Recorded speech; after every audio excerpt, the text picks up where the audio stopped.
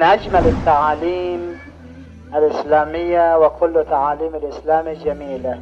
خذ العفو وأمر بالعرف وأعرض عن الجاهلين. العفو عن الناس. تفاسير متعددة في هذا الآية المباركة وإنما نحن نتعرض إلى تفسير منها. العفو عن الناس. إذا إنسان أساء إليك اعفو عنه. خذ العفو. شنو فائدة هذا الشيء؟ فائدة هذا الشيء أن الناس يلتفون حولك. أما إذا تريد الانتقام من كل إنسان قال لك زيادة. أو نقيصة الناس ينفضون من حولك. هاي أول فائدة. ثم الإنسان الذي يريد الانتقام دائما هذا الإنسان في قلق وفي اضطراب وفي سهر وفي تخطيط وما أشبه. بين الإنسان الذي يعفو هذا الإنسان مستريح.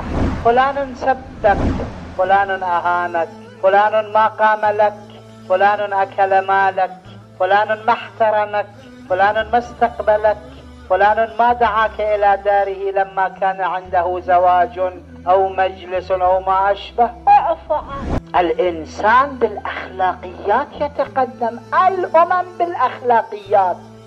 خذ العفو. يقول سبني خل يسب الله بالمرصاد له ثم هو سب وأنت سببت أنت سببت هو سب.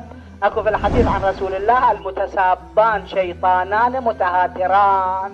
يعني اثنين شيطان يتهاترون شلون؟ المتصابين هذا يسب وهذا يرد هذا يسب وهذا يرد على هالمعدل هذني آداب هذني سلوك هذني أخلاق هذني اجتماع هذني فاهم في ظنه أنه فعل زين بعصعتك زوجتي.